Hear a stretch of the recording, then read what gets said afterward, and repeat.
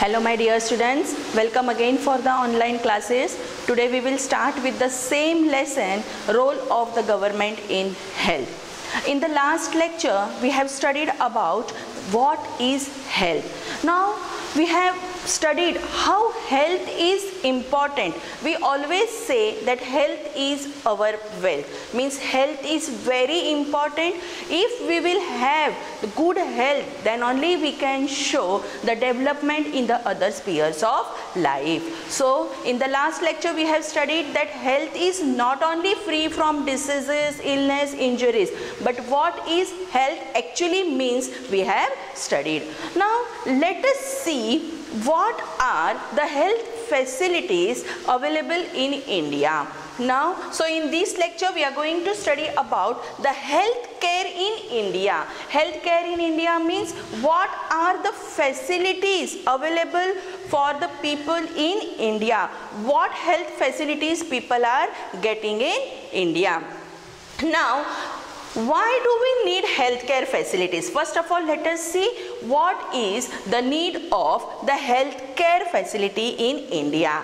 That is to prevent and treat the illness. Now, a person if he is ill, if he is suffering from any injury or disease, there should be proper facility for his treatment. So, why first of all, why we need the healthcare facility in India? To prevent and treat the illness of a person. If he will get, if he will be treated properly, then only he will be cured from the illness. Then second thing, we require facilities such as hospitals, laboratories and all these things. Now now the thing that why we need why we need the healthcare facilities? To get treatment. But to get treatment we should have such facilities. Facilities like we should have the hospitals. Doctors are there but where doctors will treat? So we need the hospitals where we will get the treatment. Then we need the laboratories for testing. Suppose uh, if a person goes to the doctor and if a doctor need some type of blood checking or any uh, doctor asked to do the checkings of the blood report or anything we need the laboratories so hospitals are required, laboratories are required, ambulance services. Suppose an accident occur on the road, if a person is injured, but if ambulance facilities are not available, how he will be taken to the hospital, how he will get the treatment. So to get the treatment, he should have the facilities also. So ambulance services, then blood banks are also very important. If a person needs the blood from where he will get. So it is the duty of the government to provide all these facilities to give the treatment to the person.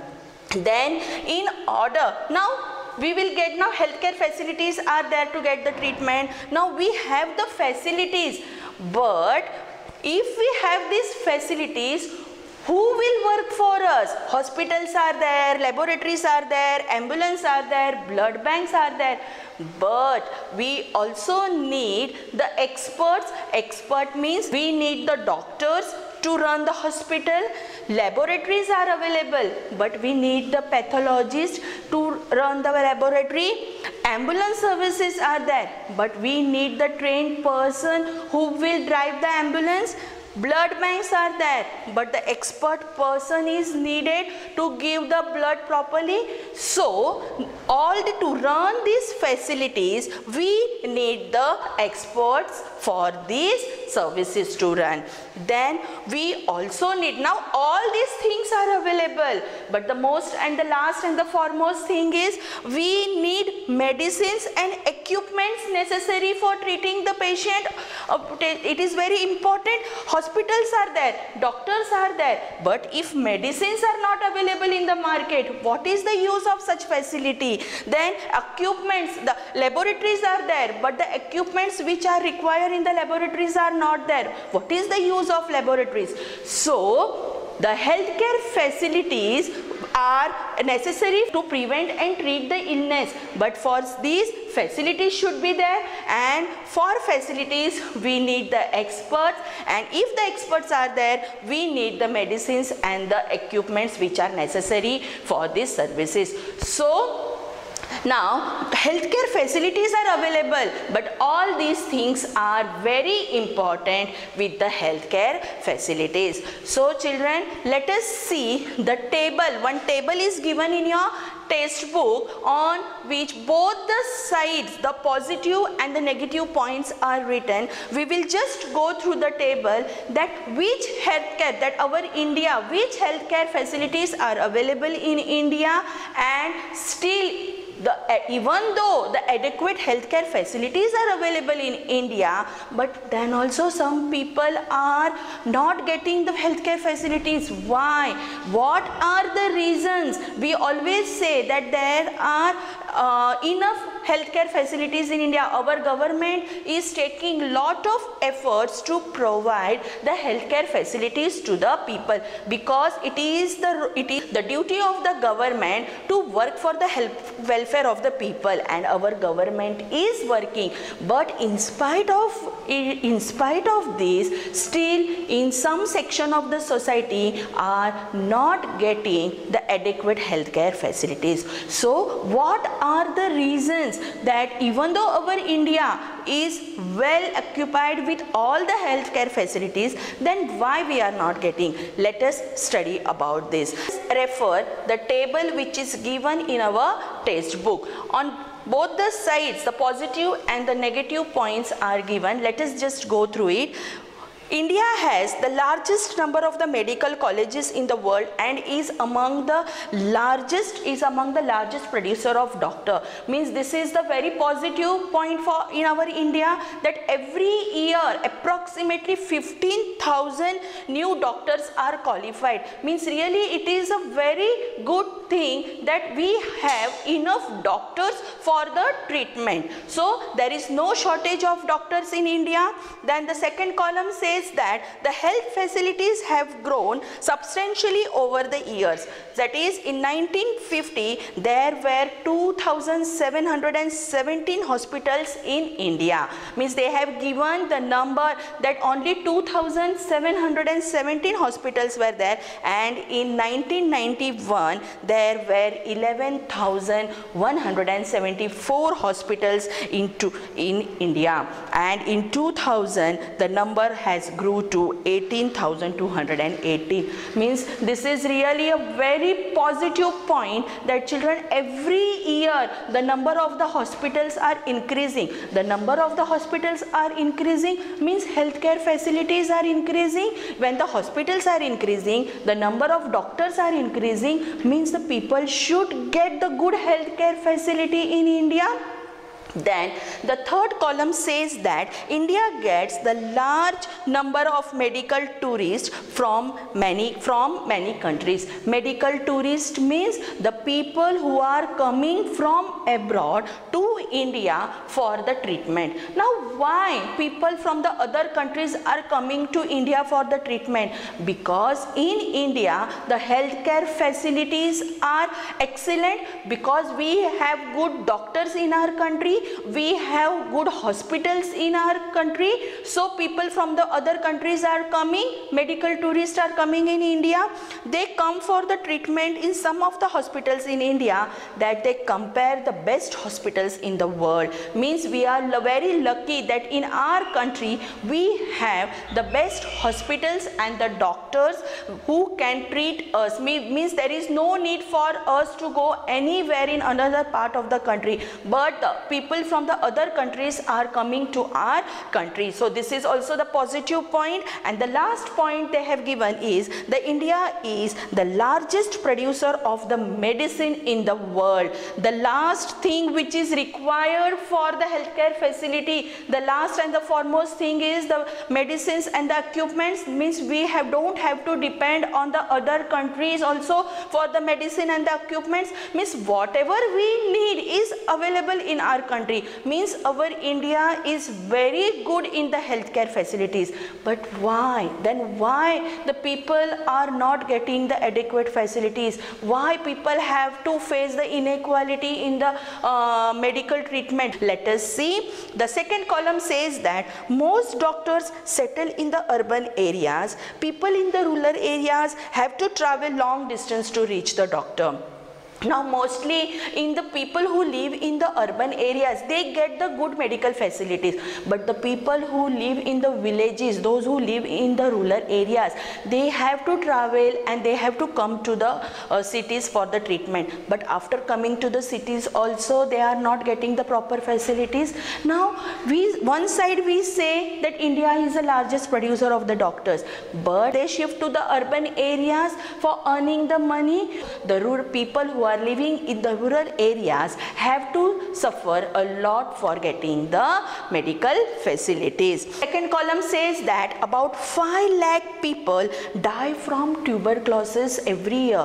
One side we say that we are the largest producers of doctor, we have the good hospitals in our India, then why people are dying from a disease like tuberculosis? This number is almost unchanged since the independence. Almost 2 million cases of malaria are reported every year and this number isn't decreasing. Means the diseases, we are still unable to cure the diseases. Now children, we can take the very best example of the corona. Now since 4 months we are suffering from the corona disease and many people have died. Since our government is trying to bring a new vaccine through which we can save the lives of the people. Our government is working but still these four months we have suffered a lot.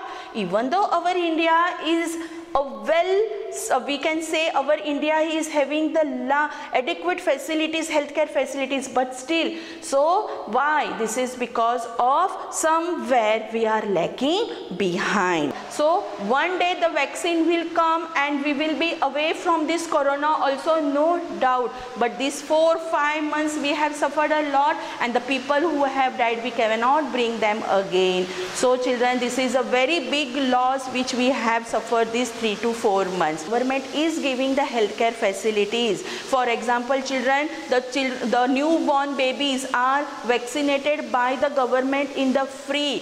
Why? The people, the parents who are below the poverty line cannot afford the uh, costly vaccines. And so their children have to suffer from many diseases. And so our government is providing these vaccines in free so that they should not suffer from the diseases. Means our government is taking lot of effort but because of the corruption and all these things we are lacking behind.